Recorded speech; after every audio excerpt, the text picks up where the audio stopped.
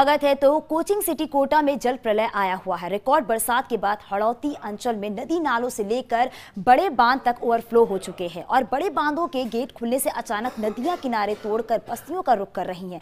कोटा शहर में नगर निगम के बचाव दलों ने करीब 250 पानी में फंसे लोगों को निकाला है। हालाँकि गनीमत यह है कि इस जल तांडव के बीच अभी तक कोटा से किसी प्रकार की जनहानि की खबर नहीं है। ये रिपोर्ट देखिए।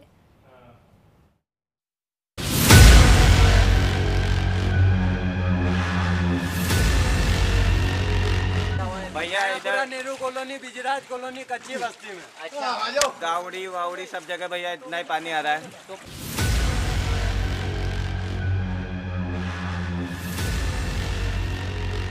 ये आफत तो आनी ही थी जब रिकॉर्ड 1350 मिलीमीटर बरसात ने कोटा में कई सालों के रिकॉर्ड तोड़ दिए हैं। हाड़ौती अपने जिन विशालकाय बांधों पर इखलाता है उनमें से करीब करीब सभी इस बारिश के पानी के आगे पस्त हो गए हैं। गांधी सागर से लेकर कोटा बैराज तक इस सीरीज़ के सारे प्रमुख बांधों के सभी गेट अब खोलने पड़े हैं और इसके बाद कोटा शहर में हालात बाढ़ के बन गए हैं।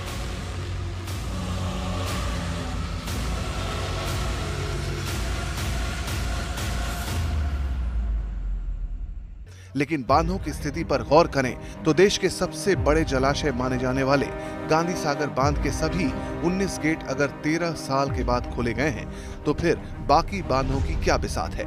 फ़र्स्ट इंडिया टीम की ताज़ा जानकारी के मुताबिक मध्य प्रदेश से लेकर हाड़ौती तक इस अंचल के बड़े बांधों का ताज़ा हाल कुछ इस तरह है।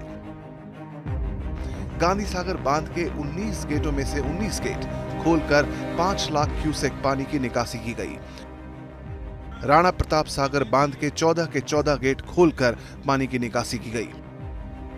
इस तरह जवाहर सागर बाँध के सभी 12 गेट खोलकर पानी निकाला गया।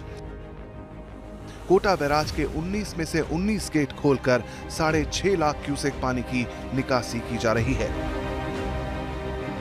कोटा बैराज से भारी जल निकासी के चलते कोटा शहर की गांवड़ी, हरिजन बस्ती, नयापुरा, कुन्हाड़ी, बालीता, भीमगंज मंडी बापू बस्ती समेत करीब एक दर्जन बस्तियाँ पानी में समा गई हैं। निचली बस्तियों के कुछ लोगों ने मुनादी के बावजूद घर नहीं छोड़े तो पानी मौत बनकर घरों में घुस गया और आखिरकार नगर निगम को ऐसे कई इलाकों में रेस्क्यू ऑपरेशन चलाना पड़ा।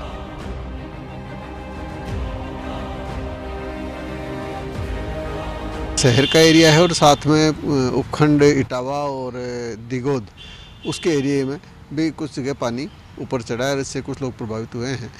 प्रशासन ने इसके लिए सभी व्यवस्थाएँ करी है। आम नागरिकों की जानकारी के लिए मुरादी करवाई है। शेल्टर हाउसेस खोले हैं।